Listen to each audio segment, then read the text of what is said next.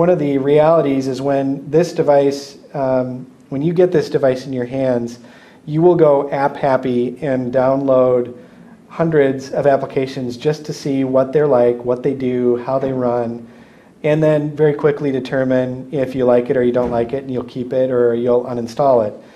And um, the, the nice thing about the, the Power Manager is uh, you can determine different configurations so that as your battery throughout the course of the day starts to go down because you have been app happy, um, or if you're using GPS applications a lot, you're, you can help your device uh, make good use of the available power that it has left. So um, simple things, you know, simple tips for you to help manage your power on the device is if you're not using GPS, turn off GPS. If you're not using Wi-Fi, turn off Wi-Fi.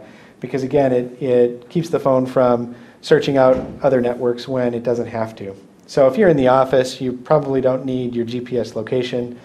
Uh, you know, you're not tracking yourself, but uh, so those are some simple tips to manage uh, the power on your device.